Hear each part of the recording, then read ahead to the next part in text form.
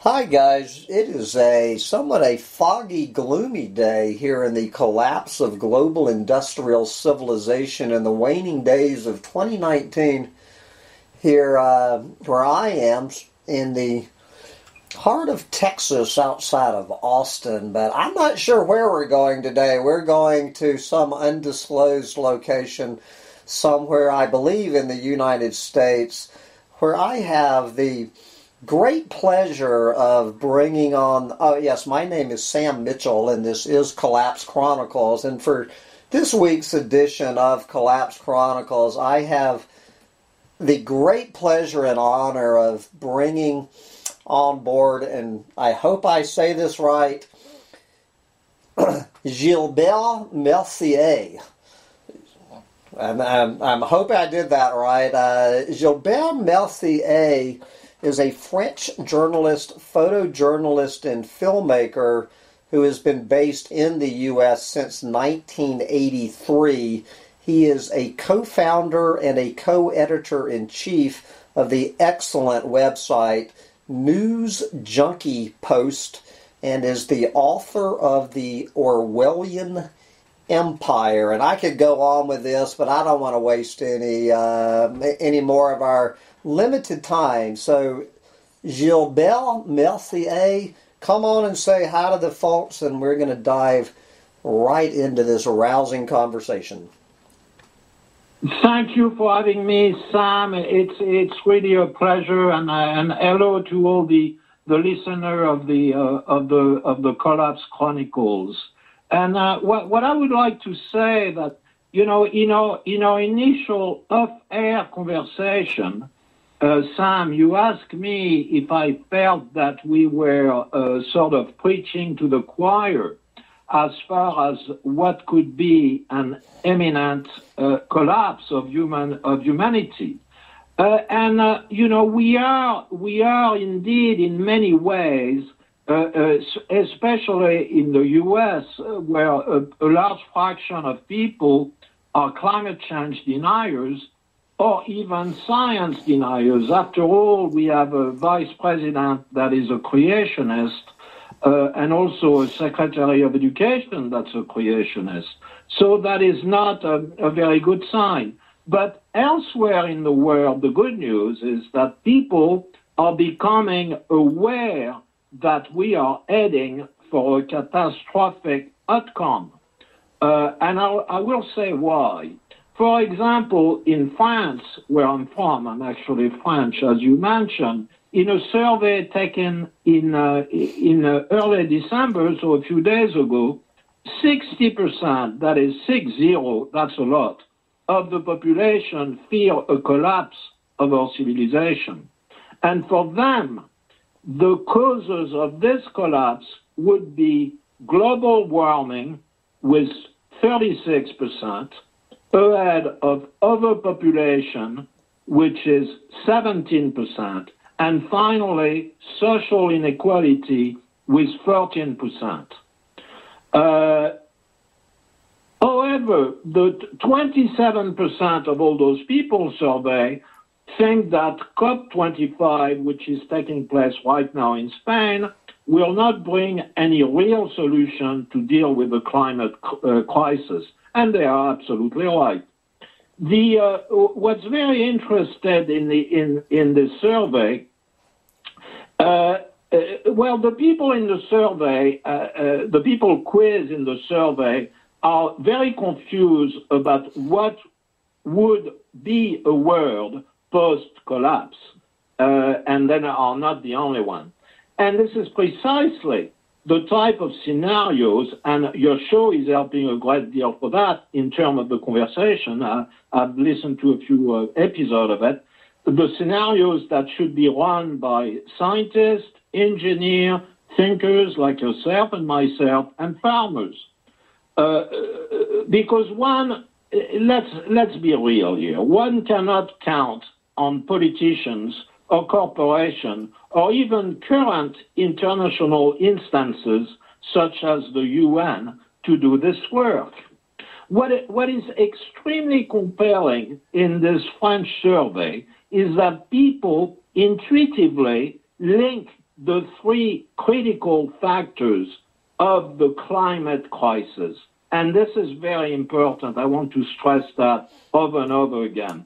It is, the, it is in fact impossible to address the climate emergency without dealing with overpopulation and social inequality. You have those three factors here which are completely intertwined.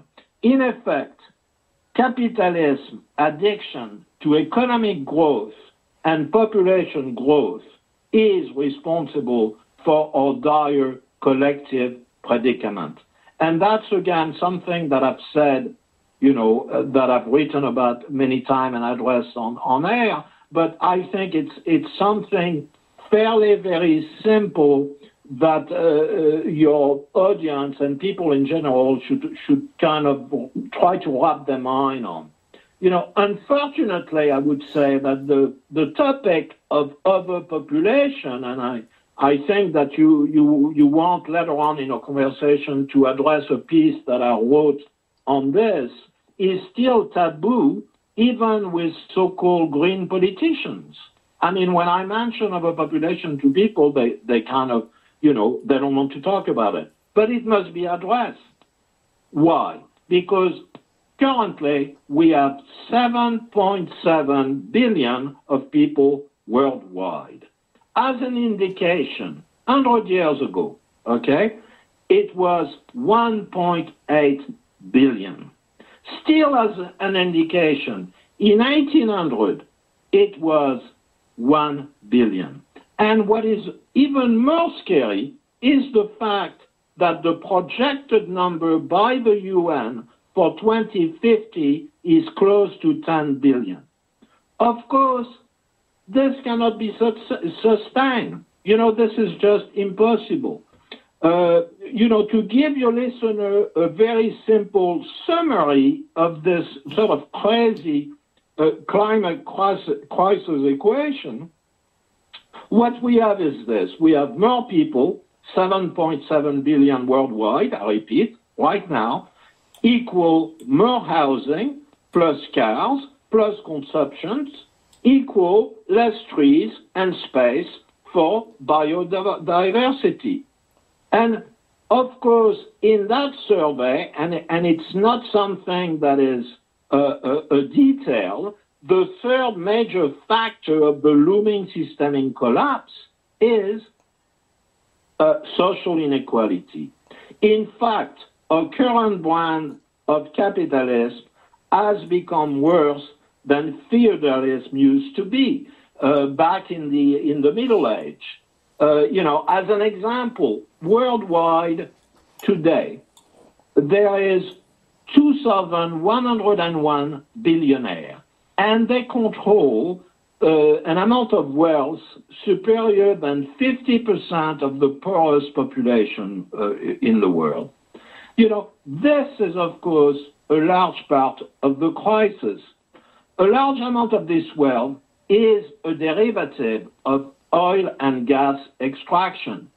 You know, uh, people need to know that, and it's it's something that is uh, of course, do not get any coverage in most news outlets, but there is in the world 20 companies, okay, responsible for one third of all carbon emissions.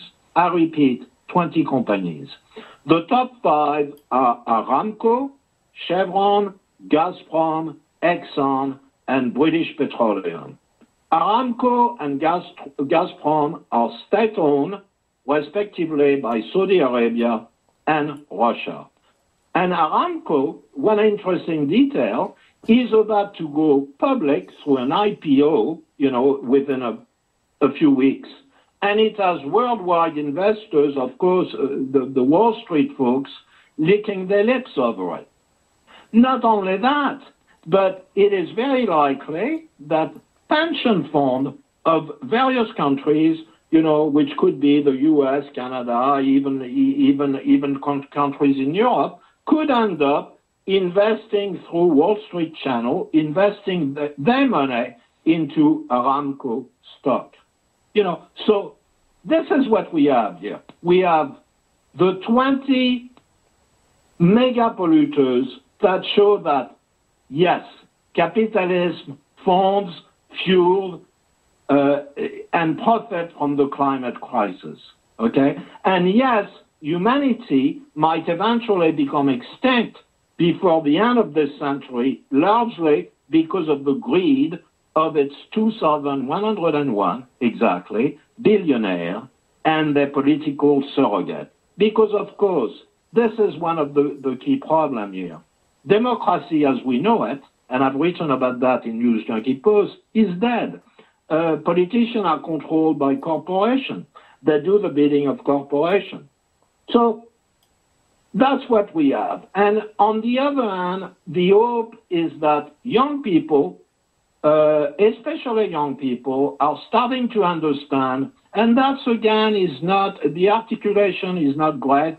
It's kind of intuitive that we need a global systemic change, not just uh, uh, some some vague uh, uh, talk about about the, the climate emergency. You know, some vague green talk.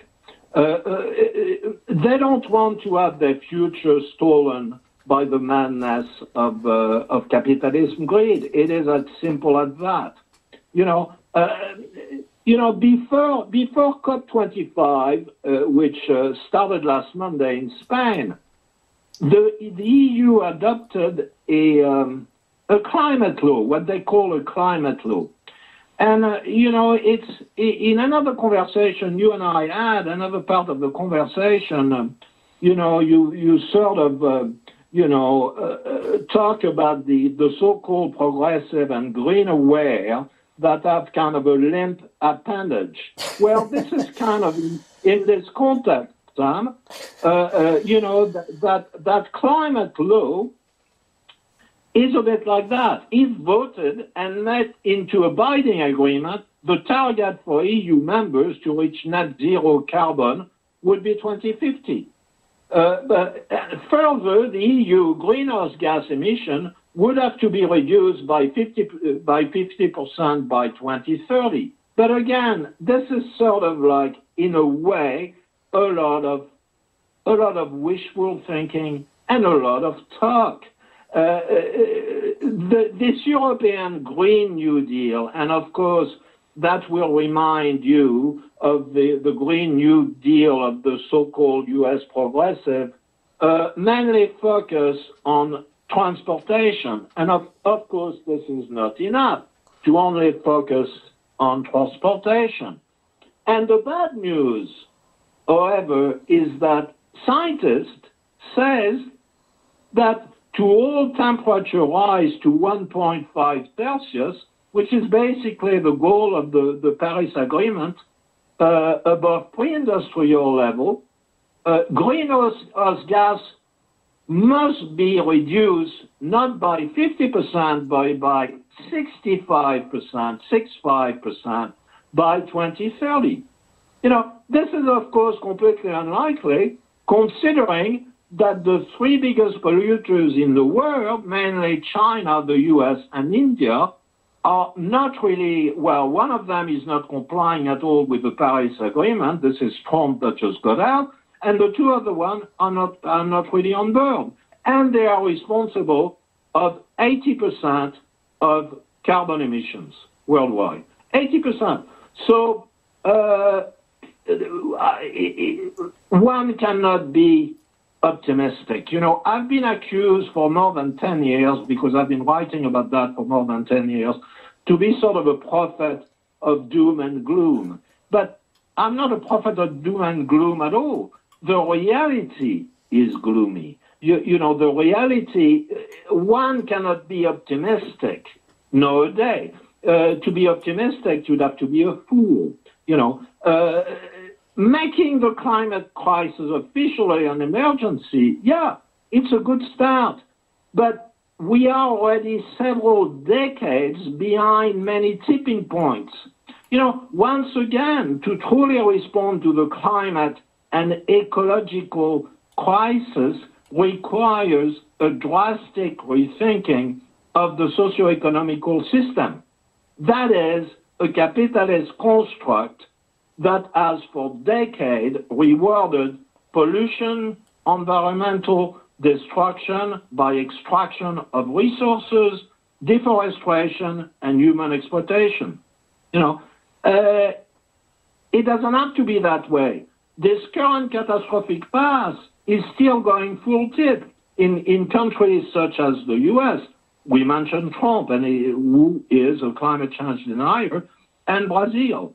You know, but again, um, uh, and Brazil with Bolsonaro. Unfortunately, the EU plan, even the EU plan, barely scratched the surface and functioned sort of like, if you wish, uh, a bit like a band-aid that one would put uh, on the on the Titanic. You know, uh, the the neoliberal, the, the, the limp appendage neoliberal, you, uh, such as Macron in France and Trudeau in Canada, uh, they claim to be progressive, but mainly, you know, they just talk the talk. You know, they don't they don't do anything. Um, the the only way to slightly increase, in my opinion, odds of survival as a species is to dismantle uh, capitalism with its suicide pathological quest for permanent growth and its correlation of stimulating overpopulation to sustain consumption. And then we're going back to this, this French survey, and people cannot formulate those type of things like I do, but they still they have this notion, and this is a reason of optimism for me. You know, uh, but however, the type of action truly needed would not be popular at all. You know, and that they, they don't know. Uh, imagine for a moment, Sam, the price of gas in the U.S. rising to $8 a gallon, uh, which would put it on par, by the way, with gas prices in Europe. Do you think that would go well with, uh, you know, Texan or, or, people in Oklahoma or, elsewhere, as a matter of fact, driving a pickup truck? Not so. Imagine a world, a worldwide moratorium phasing out entirely combustion engine vehicles by 2030, which is what we need. We need people to buy elect- electrical vehicle. We need we need those vehicles to be subventioned. We need to tax the rich. We need to tax heavily the billionaire. To to uh, we need to do stuff that is not, you know, that is sort of like almost I would say. Uh, not going to happen. Very, very. it, it's not going to happen, obviously. And then the worst one is this, and I said that for the end. Imagine a worldwide one child only law like the one imposed by Mao Zedong in China in the 60s. But this is what, Sam, this is, as a matter of fact, what we need. And it's not, it's not going like that. You know, needless to say, most people would not embrace willingly this type of measures. And you understand that. And as a matter of fact, government still reward people for having more children through tax tax break. What they should do, they should do the opposite. They should reward people for not having children, but they will not do it. Uh, uh, regardless, I think that to salvage what we can, some pills are going to be very, very hard to swallow uh, uh, for people, you know.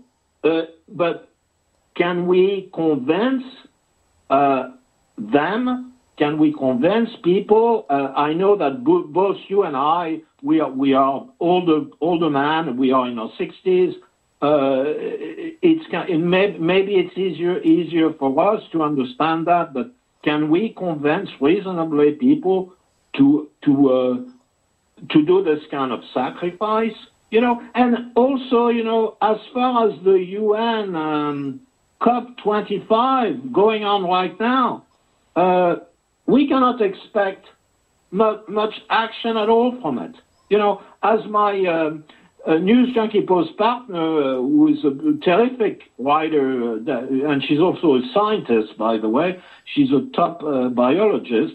Dady Chery uh, told me, uh, knowing that I was doing this interview with, with, with you, and she, as a matter of fact, co-wrote, you know, with me an article about other overpopulation that that we did six or seven years ago, very controversial at the time.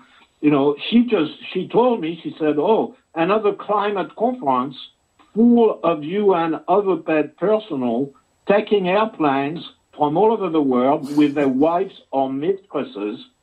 It's the UN way to blackmail the US, the EU, China, and India into giving it giving it money to keep quiet."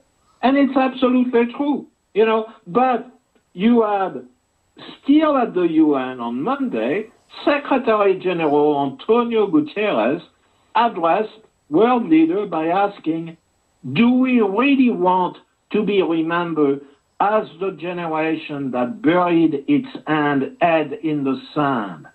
You know, uh, but this is exactly what world leaders, politicians of all stripe and corporation are doing. Except I would say that they are burying their, their head not necessarily in the sand, but perhaps in a, in a part of their own anatomy.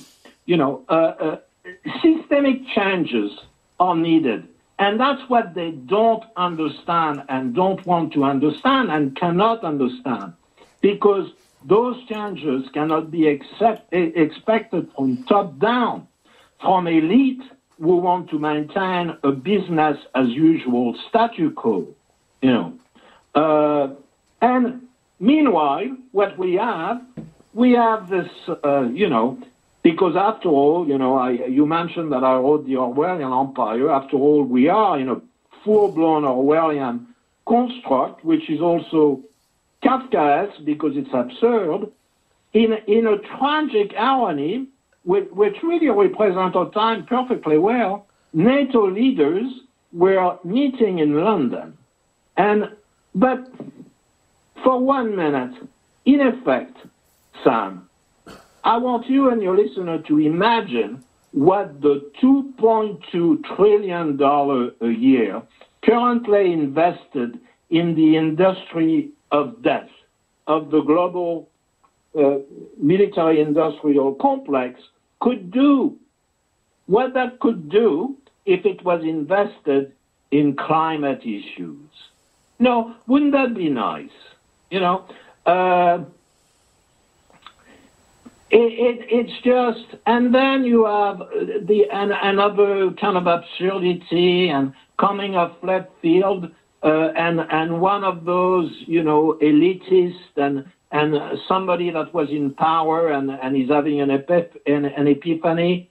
Uh, uh you know, and of course it's likely to be just word, but uh, John Kerry has just launched, and you're going to laugh, some if you're not aware of it, an international initiative to address the climate crisis. And you know what it's called? It's called World War Zero. For, of course, zero carbon emission. Isn't that beautiful? and, and, you know, it refers to the fact that we must bring our carbon emission to zero by 2050 to restrict warming. Uh, but, and Kerry stated honestly this time, um, things are getting worse, uh, not better, which is true.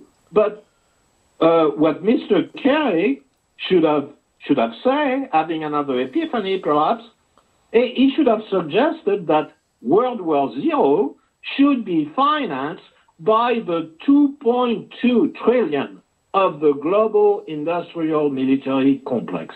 That, that enormous amount of resources that that uh, uh, monstrosity swallow. Do you know, you probably don't, uh, and your listener might find that interesting, that the Pentagon, this lovely US institution, has actually a bigger carbon footprint than Denmark in Europe the Patagon has a bigger footprint than our entire country. No, that says a lot about what we are not doing. Now, since the, the, the 1990, you know, there were a paper published, a very interesting paper, uh, in the um, you know in in the world I believe it was the World Meteorological Organization that published that paper, and they they concluded that 2018 set yet another record in greenhouse gas emissions. So we are not definitely not on the right track. As a matter of fact, it's getting worse. Since 1990, just to give your, your listener an idea here, the reference here in the paper, uh, there has been a 43, that's 43% increase in concentration of greenhouse gas in the atmosphere. Of this, 80% is CO2, and the rest is methane and nitrous oxide. Uh, the climate crisis is in unraveling, as you know, Sam, and it's unraveling as we speak. And people are just watching and pretending that, oh, well, uh, you know, things will get better. But no, things are not getting better. Many people are already dying from it worldwide. Millions are already climate refugees, and there will be more. It's only the start. In a few years, Venice, Italy, will be submerged, as well as Jakarta, Indonesia, a city of 10 million people. And of course, the rich people in, in, uh, in Indonesia, the government, they're saying that no, that, that's bad crazy. Uh, uh, you know, uh, they're saying that they want to move the entire city of Jakarta, 10 million people, to Borneo, an island that is still perfectly fine. And of course, it, it will never happen. Uh, never, never happen in a million years. What they will do, they will let the poor people die in Jakarta, being submerged in water, and the rich people will move to Borneo. Okay? So, uh, the consequences of global, you know, urban sprawl due to overpopulation, and I'm back to that topic because, again, you have those three factors global warming of the climate crisis, global warming, you know, uh, you know, gas emission, uh, overpopulation, and social inequality. Those are the three legs that carry this monster that is the climate crisis. Uh, overpopulation, you know, uh, has, of course, created this urban sprawl, those like 10 million uh, uh, people living in Jakarta. And the, the extensive area of earth covered by asphalt and concrete, uh, it, it has created the, the fact that the, the earth doesn't absorb water anymore. So when you have flood, you know, uh, the water cannot go anywhere. So uh, of course, people people die, and people will die more and more. And something else that people should realize: concrete by building huge concrete wall to protect coastline, it's not going to contain the, the rising water. It will not. Maybe for a little bit of time, but then you'll have a a big hurricane or a tornado or whatever, and it will go over it. Uh, you know, and we will have, you know, now now the nightmare scenario, and it's already there. We will have a rapid successions of droughts, fires, and floods. Uh, and it's not even on the horizon, like in France again. France had a massive drought and uh, and a lot of fire last summer, and uh, just recently, they had, they had flood in the southeast, which is a beautiful region uh, near Cannes, and uh, 13, 13 people died. I mean, it's not a lot of people, but there's going to be more and more of those events. Uh, it's not even on the horizon; it's here, you know. Um, and it is, it is of course a complete vicious cycle, Sam. You know, um, because what you have, you have Okay, you have drought, then you have fire, and then you have flood. and then you have soil erosion. Okay, uh, and then and then vast areas of land, especially coastal land, of course, or land near near rivers, uh, will become unlivable. You know, and this could affect, you know. Uh, the, I mean, the collapse chronicle are ongoing right now. That's what I, I, want to stress to, to people listening to your show. It's not even, we're not even talking about, you know, 2030 or 2050. This is happening. It will only, it will only get worse unless we do something that is mostly brutally unacceptable for 99% of people. Uh, the, those type of situations will affect uh, between be, before 2050. Uh, there will, will likely be 600 million people worldwide that will be refugees that will have to leave the coastal area. 2050, you can expect that Florida will be largely gone. Uh, and you can also expect that um, rich people in New York City, and that's I say that with a kind of a grin on my face, but you know, of course, it's only audio. Uh, rich people in New York City and and um, let's say the Hampton uh, will also likely be submerged. Um, so we need we need some drastic changes before 2050. Not not you know we don't have time. You know uh, life on Earth, if, if we keep going the way we're going, and we are, life on Earth will become hell for human survivors. People will fight for basic needs such as food, water, and shelters. There will be some kind of dis- disintegration of basic social behavior rule. You know, uh, I, I, don't know if you've seen, perhaps you've seen uh, two to a very interesting science, science fiction movie. I mean, I used to work in the film industry. One of them is called Mad Max Road Warrior, directed by Dr. Miller. He's actually a medical doctor. It's an Australian film.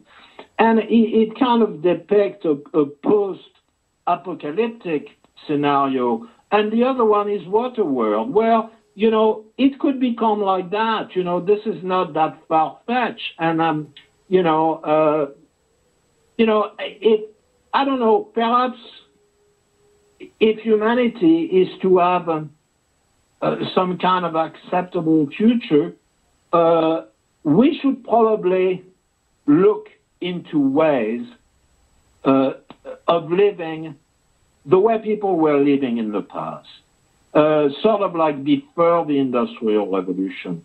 You know, we, we perhaps we need to say, okay, um, we failed. The, the, this expansion uh, failed. The, you know, think about it this way. Um, perhaps the future, and I know it sounds like a paradox, but perhaps a future, uh, and I don't see how it's going to happen, but it could happen for like in, in a couple of hundred years if, if some humans survive uh, perhaps a, a, good future would be in our common past, uh, uh, such as, you know, small subsistence farming community, like the Amish. Yeah, like the Amish. Uh, the Amish style of living could be leading the way. Community that are self-sustained, where people grow their own food, um, you know, uh, much smaller government or, or almost of just local government. Um, and there's people, there's a lot of people that believe in, in um, technological fixes to a, you know, to a problem. And, you know, I, I think it's, I think it's really a, you know, it's a pie in the sky because technology, and again, that's a paradox Technology was supposed to improve the life of man, but it hasn't. Technology and the expansion and this kind of craziness of development has actually not improved uh, the nature of our life. You know, life of generation way before yours, or ours, like 200 years ago, was probably at, at a better quality.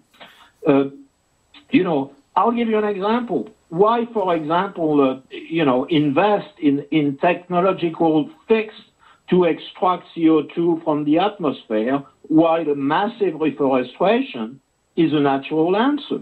Why indeed?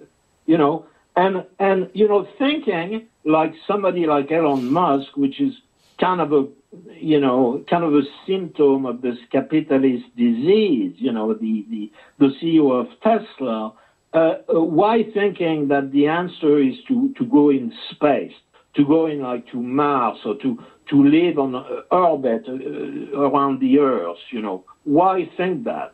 You know, um, you know, let, let, let, us put it this way, Sam.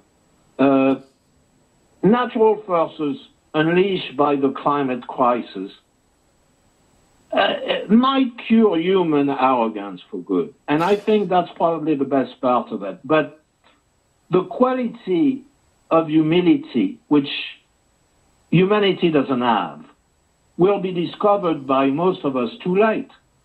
Uh, we are entering a, a, very, very tricky and kind of deadly phase here of, of, of the human adventure, uh, and it could be uh, the last phase. You know, the clock is ticking, Sam, and uh, I, I don't think time is on our side at all. You know, it's not on our side.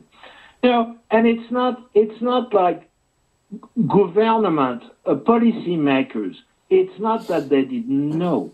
You know, for the past 50 years, since 1970, climate scientists have accurately forecast global warming pattern, and they've been right all along.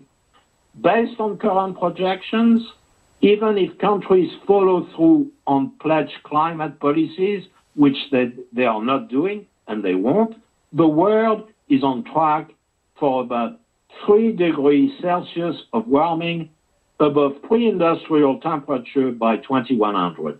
Some French scientists forecast warming as high as 7 degrees Celsius. So this is very, very hot. Uh, of course, all scientists predict this would be catastrophic. Uh, but we should prepare ourselves for this worst case scenario. Uh, and how could we possibly adapt to it? You know, one of the things that I mentioned, and it's sort of it appears to be a little bit loopy at first, but uh, I don't know if you heard, you know, anything like that, Sam. But I think I wrote about it before that perhaps creating vast subterranean cities uh, type dwelling could be an option. Why not? Uh, it can be done. You know, uh, Earth's temperature when you when you underneath is relatively stable, so it wouldn't go way up. Uh, the atmosphere would be all right. It can be done. You know, technically it can be done, considering that the technology was successful to dig this massive tunnel uh, under the channel between the UK and France. So uh, life could get somehow organized. You know, uh, we could have greenhouses. We could have solar panel on top of those those massive underground city. I mean, perhaps it's just science fiction, but I think it's it's time to get people who, who can actually think of, of true alternative to say, you know, that's perhaps an option, you know, because what we have right now, we have uh, and it's almost, you know, I'm not a religious person. And of course, you know, one of the problems is, besides being climate change deniers, some of Trump supporters, and, uh, and I live in, in an area of the country that I call, uh, not far from you, as a matter of fact, that I call Trumpistan or Trumpland. And in this part of the country where 95% voted for Trump, uh, it's, it's like the, the, the hardcore, born again Bible Belt. And people do believe that uh, uh, all of that doesn't matter, that God has a plan, and that if you uh, accept Jesus, uh, uh, you will be fine when Jesus come back for the rapture. And they believe that. They are believe they, they, they believe that. And so they're optimistic. However, uh, uh, Jesus is not going to come back uh, with a horse, with a trolley, uh, with a bus, with an airplane or a spaceship. He won't come back. Uh, you know, because in my opinion, of course, uh, it doesn't exist. So anyway, what what I'm trying to say here is that the the the race of, of forces we have created, and we have created them, you know, by our activities. It's it's really upon us right now, and uh, and most, including those climate deniers, but also including the people that are sort of on um, uh, mental autopilot, you know, uh, who, who, does not belong to our choir, which is people that, as you said, you know, people that we already have convinced of the validity of a point, uh, they still believe that things are going to go like that, go on forever with their children, grandchildren, and so on. You know, uh, so this is what we did, you know, uh, instead of respecting our host, planet Earth, uh, for its countless abundance and generosity, we have trashed it after squeezing it like a lemon. That's pretty much what capitalism has done. What we have done, because we are all guilty as charged, we are, you know, of course, some are a lot guiltier than others. You and I, you know, we have a share of guilt, but it's it's minute compared to decision makers uh, worldwide, you know. Uh, and as I was mentioning to you, affair, you know, uh, Homo sapiens 357 years ago, and then primitive civilization that follow, they worship our blue planet. And we should have kept doing it. We forgot that we were only guests. Uh, we behave like uh, we had this sense of ownership. And again, you know, I want to bring back an element of a conversation on air native population, indigenous population in the America and elsewhere did not have the sense of ownership of land, the sense of, of uh, planet belonging to them. You know, uh, I I always laugh when those green politicians uh, they used to say that a lot years ago. You know, they used to to use the term "save the planet." the planet will be fine. The planet without without us actually will be better. Other species will be better when we're gone. You know, uh, let's put it that way. The the the Homo economicus, the Homo economicus is the economic man, the man of greed, of the post-industrial revolution, in his ignorance and arrogance, uh, thought he could exploit all resources and master natural forces. This is about to end in a form of collective suicide, uh, Sam. It's kind of a punishment, if you wish, for 150 years of ecocide. We are all, and especially people like Trump and Bolsonaro, and all those like uh, obscurantist neo-fascists, uh, responsible of ecocide. Uh, which is the, the genocide of our ecosystem. Uh, our current society, I, I, just want to make a funny analogy, you know, and then we can we can go on to a, to a various question and, and and prolong the conversation. A current society, if you wish, is like a middle-aged overweight man, you know, with diabetes, uh, who already had a heart attack, but still smoke a pack a day, eat red meat, bacon and eggs for breakfast, do not exercise, but is still in denial of his imminent death. The problem, our problems are, everybody's problem, is that if Homo sapiens, Homo sapiens in Latin means wise man. If Homo sapiens were wise man, by becoming Homo economicus, we have become Homo stupidus. We have become stupid and destructive. And this is the way I see sort of the state or state of affair, which is grim.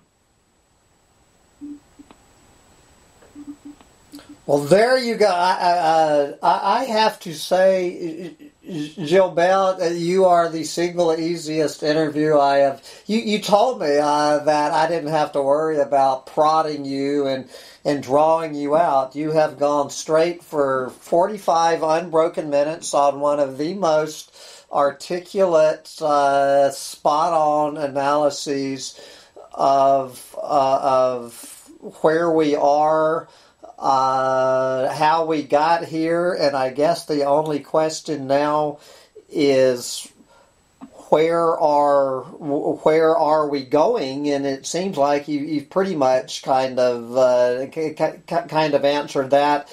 You have told us what needs to be done, and you have let us. That's right, Tom. And you've let us know that it ain't going to happen. What needs to be done isn't going to be done. So draw your own conclusion. I'll tell you.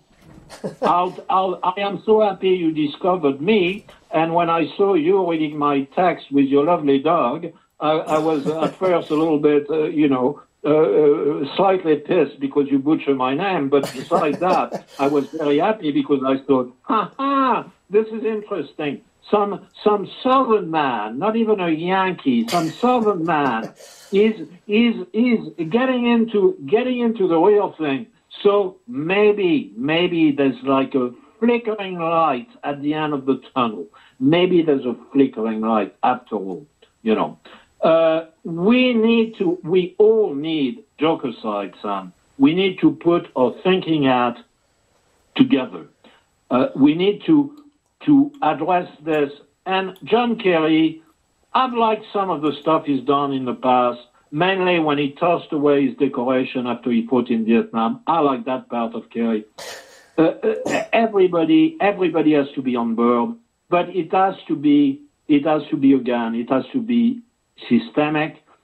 There, need to be major, major change, uh, you know, and hopefully people will start, you know, all governments, and it's all of them, and I'm making no exception. China is not a communist country anymore. China is a capitalist country.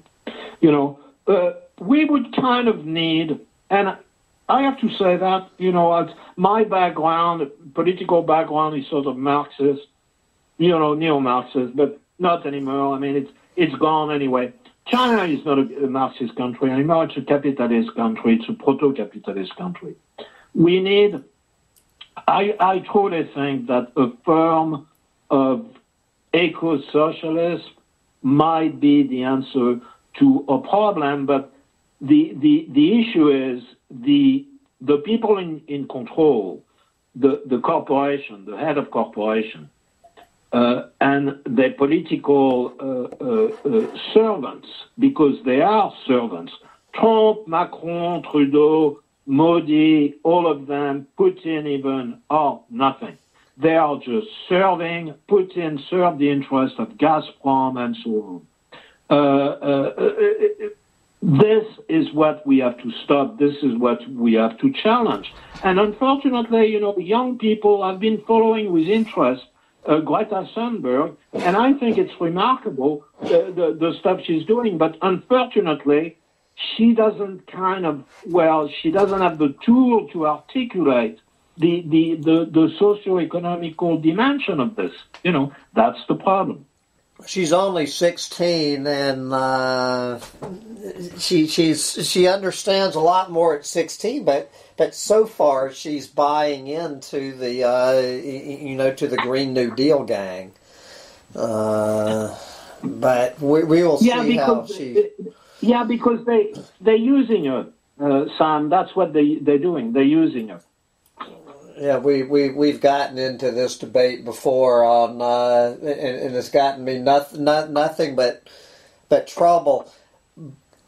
Uh, but I, I will have to say that, that this has truly been enjoyable, and I've just uh, love it. Where I've just been able to sit back and, and relax. But here we are. Here we are at this point uh, in, in, the interview where global industrial civilization is getting ready to collapse in a few minutes. So I want you, if you've listened to my interviews, you're not going to be surprised at, at how I how I wrap them up. Before before we move into this, I do just want to let people know that News Junkie, and I will put the link is where you can find if you like what you have heard and want to hear a lot more what this man has to say his excellent oh, website. And, yeah, and I'm sorry to, sorry to interrupt, yeah. Sam, but also News Junkie Post and also my remarkable uh, colleague, uh, uh, co-editor-in-chief of, uh, of the site, Dady Chery, and also the author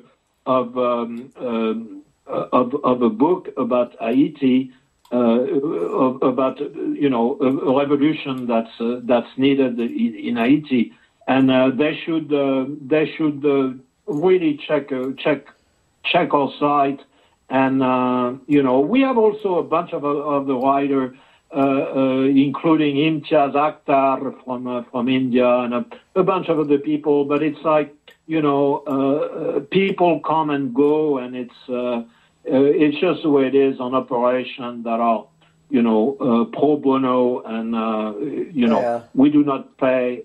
you know, we don't. We we do not believe.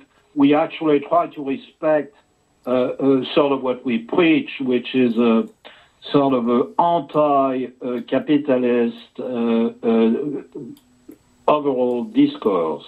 You know, Okay, well, uh, anyway, I did. I just wanted to make sure people knew where well, they could well, go to find. Way, uh, I'm, I'm, interrupting again. I had a lapse. The, the book of Dady Chery is called "We Are Dare to Be Free," and it's about uh, uh, we are dare to be free, and it's about the, the Haitian Revolution and Haitian history, and it's a fabulous book. Uh, and, uh, and anyway, so yeah, people should check out our site, you know. And uh, but most importantly I think we need to keep the ball run, rolling. We need to we need to keep talking about this, uh, uh, and uh, uh people should not waste their time about the the the the politic, uh, the spectacle of, of being Trump impeachment or whatever it is, because it doesn't matter. This is just distraction. What matter is what you talk about on your show. That's what matters. Okay, and so let's, as I wrap up every one of these, I'm going to ask you the same question. Uh, if you were not talking to Sam Mitchell, uh, Collapse Chronicles, where you had a free rein for an hour, and you actually had the mainstream media sticking a microphone in your face, and you had 60 seconds to sum up the Gilbert Mercier message to planet Earth in the waning days of 2019, what would those 60 seconds sound like? Uh, we have to. Uh, uh, it, this is truly an emergency, and it's it's an emergency if you have children, if you have grandchildren. It's an emergency for them. It's also an emergency for you because it's already unraveling and uh, uh, in uh, you know it will not be progressive. It will be there will be a tipping point where things will become absolutely atrocious. Uh, a parenthesis here. I started becoming very, very acutely aware and, and, and reporting this after Katrina in New Orleans. I used to have a house in New Orleans. People need to wake up people need to wake up and consider what is important. Okay, and with that, we are going to have to uh, wake up to the fact that we're getting ready to be shut down here.